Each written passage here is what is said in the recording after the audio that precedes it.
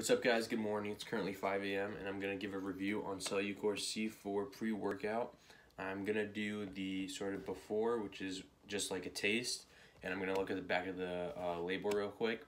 And then after my workout, I'll let you guys know if I felt jittery, how I felt throughout my workout.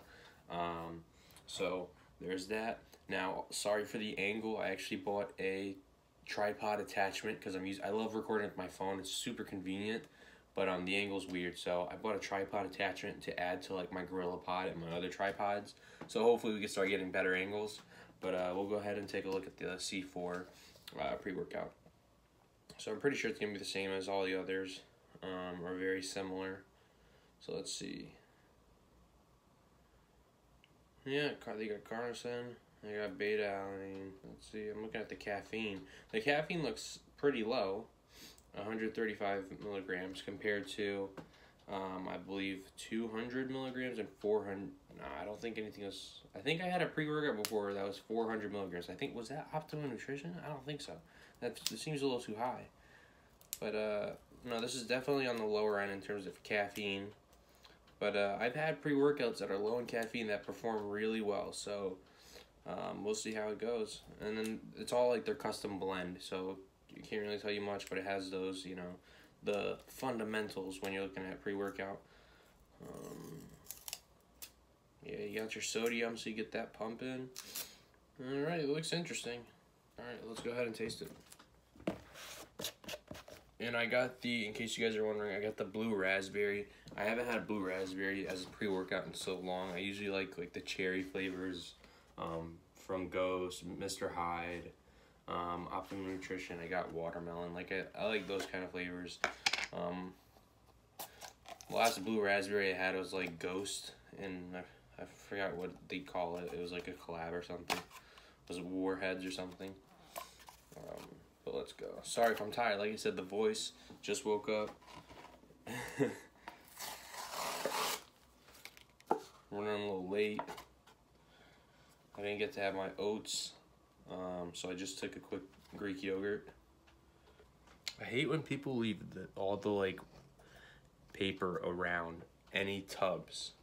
Like take this, take take a second, and just remove it.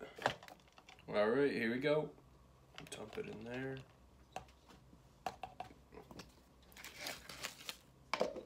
So I said earlier, this is like the OG YouTuber pre-workout. I remember seeing like Christian Guzman and all those guys back in like 2016 when I was first getting into fitness. I was watching their older videos and they pretty much all would pump it out. And I'd be like, oh, let me see it. And then, you know, I see it at like Sam's Club. Like, it's always up there for wholesale um, where you could get a pack of two.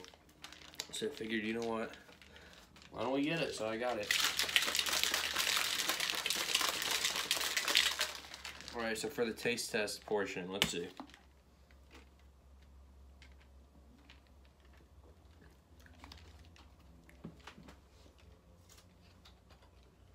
Yo, Loki burned. It's burning a little. What the?